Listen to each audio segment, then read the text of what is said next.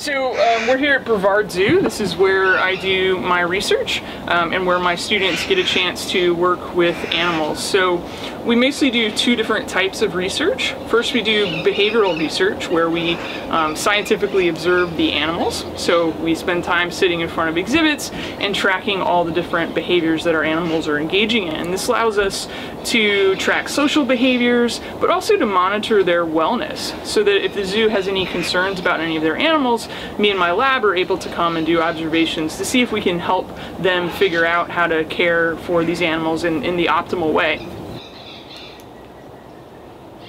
We also do experimental research.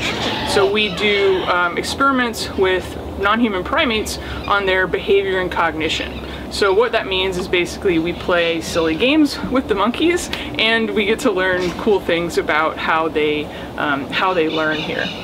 The, the reason that I'm interested in non-human primates is to figure out how humans evolved our cognitions and behaviors. Non-human primates are of course closely related to humans and so what I do is look to the primates as a model for our evolutionary past. So what we can do then is say, okay, if, if if we have this trait and we see it all through the primates, then it's probably something that's that's evolutionarily ancient in terms of its origins. But if we see certain things that we have, some primates have, other primates don't have it, and then maybe another species has it, we can then say, okay, what in our um, what in our environment during our evolutionary history led to this trait being adaptive. So we can really hunt down the origins of human behaviors and cognitions. So what, the reason that we're trying to use our lemurs and train them on touchscreens so that we can ask them about their cognition is because they're really an understudied species in terms of their cognitive abilities. Partially that's because scientists have assumed that their cognitive abilities aren't fantastic because they're the most distantly related to humans. But of course in science we don't want to make assumptions, instead we want to go out and try and test this. So we're trying to uh, get our lemurs into the same types of cognitive testing that have been done with the other primates. So I'm conducting uh, research uh, looking at spider monkey color vision specifically. Um, spider monkeys are really interesting in that they vary in the colors that they can see based on individuals. The color vision in the spider monkeys, it's an evolutionary puzzle um, because in the wild they should both be doing discrimination tasks of looking at ripe versus unripe fruit. Um, if you eat an unripe piece of fruit you can get sick and you could die and that lowers your uh, reproductive and survival advantages. So why is it that we're seeing um, such differences in individuals? So it's an evolutionary puzzle that we're hoping to solve with uh, training. So right now in the zoo we have a number of different projects going on and that varies all the time. We never know what's going to come up with our animals so we never know exactly what we're going to be doing at one time. So we have a few behavioral observational projects going on right now.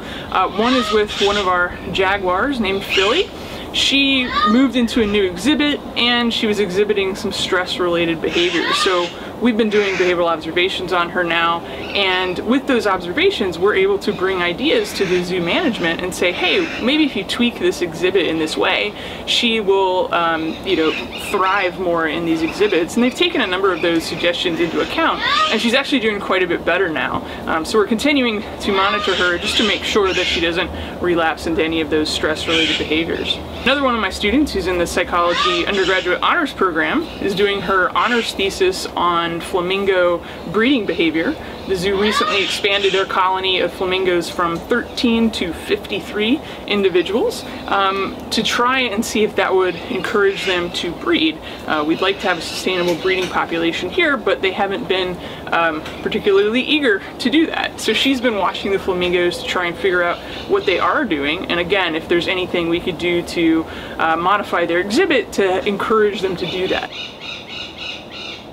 One of the things that makes the animal behavior concentration in psychology at Florida Tech really special is, well, first off, there's not that many places where undergraduates can get meaningful experience in animal behavior.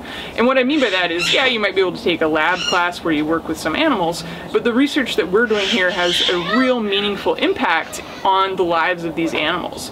So for example, if, if we get asked to do some sort of a wellness project where we're doing behavioral observations, students might see something and we make a change for that animal maybe the next week. So, so there's really immediate, um, immediate feedback about the research that we're doing, you know, and this is, this is much more um, gratifying oftentimes than waiting three years to get a publication.